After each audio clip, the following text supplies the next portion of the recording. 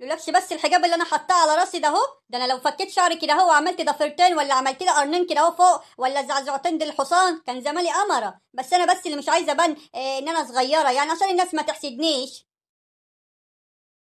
بقول لك إيه يا مرات ابني أنا عايزاكي تنضفي البيت كده وتخليه زي الفل عايزاه يبرق ما أنا لسه منضفاه يا حماتي هنضفه تاني ليه؟ بكرة الوقفة يا حبيبتي وأنا عازمه أختي هنا عندنا عشان تفطر معانا. فعايزة البيت كده إيه يبقى شكله كده نضيف وجميل. هو انت عازمه أختك هنا يا حماتي عندي في بيتي. بيتك إيه يا ام بيتك البيتك قال. ده بيت ابني يا أختي بيت ابني وخير ابني وحاجة ابني وفلوس ابني والحاجات اللي بيجيبها دي بفلوسه. قال بيتي بيتي بيتك إيه؟ ده شوية هلاهيل اللي انت جايباهم ومتجوزة بيهم. بلا نيله خليني ساكتة ومكتومة. أنا عارفة أنا إيه اللي وقعه الوقعة السودا ديت. ملقاش إلا انت اللي ياخدك. ده أنتوا جايبين عفش استغفر الله العظيم يا رب تقولش بالي أنا عفشي هلاهيل وكراكيب. آه أنت اللي عايزاني أقول لك الحقيقة دي أنا قلت لك الحقيقة المرة يا أختي أعمل لك إيه؟ ما أنت اللي فرحانة بنفسك بتقولي بيتي بيتي. لا مش بيتك يا أختي ده بيت ابني. ماشي يا حماتي أنا برضو مش هرد عليك عشان أنت ست كبيرة في السن وأنا مؤدبة ومحترمة وأهلي ربوني ان أنا ما ردش على أي واحدة أكبر مني. أكبر منك إيه يا أختي؟ ده أنت اللي شوفك يقول عليكي ده أنت اللي أمي. لولاكش بس الحجاب اللي أنا حطاه على رأسي ده أهو ده أنا لو فكيت شعري كده أهو وعملت ضفيرتين ولا عملت لي قرنين كده أهو فوق ولا زعزعتين دي الحصان كان زماني قمرة. بس أنا بس اللي مش عايزة أبان آه إن أنا صغيرة يعني عشان الناس ما تحسدنيش. لو النبي عايزه تطلعي زعزعتين في رأسك تعمليهم ده الحصان. ومفكره نفسك صغيرة. آه يا أختي صغيرة غصب عنك. أنا عارفة إن أنت هتموتي مني. أنا داخلة المطبخ يا حماتي أطبخ وأشوف ورايا إيه عشان أنا مش فاضية للهري بتاعك ده.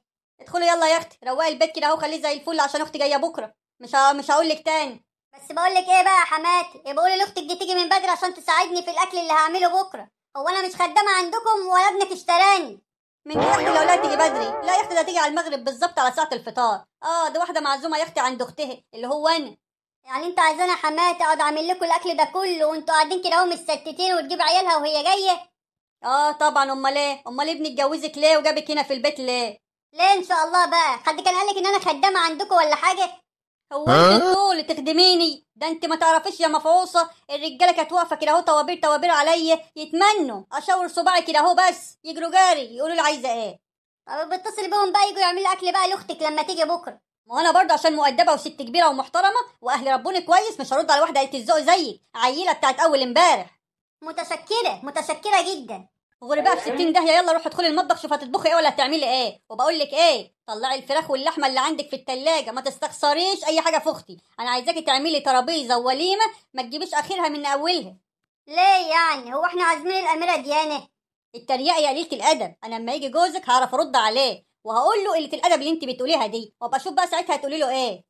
ادي اخرة الجواز واللي عايز يتجوز؟ ويقول لك هعيشك ملكة في البيت وفي الآخر جاب له امه تعيش معايا وأفضل أخدم وأشيل واحط وفي الآخر ولا كلمة كويسة ولا كلمة تطيب خاطر الواحد. سامعاكي بتبرطمي يا قليله الادب لا برطم بقى ولا تنيل. أديني داخلة المطبخ وهعمل دور سندريلا. ستات آخر زمن متدلعين عايزين كل حاجة كده وعلى الجهازي.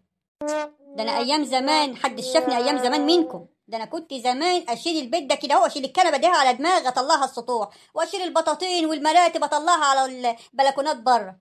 ده أنا كان عليا صحة؟ يلا مفيش حاجة بتدوم على حالها.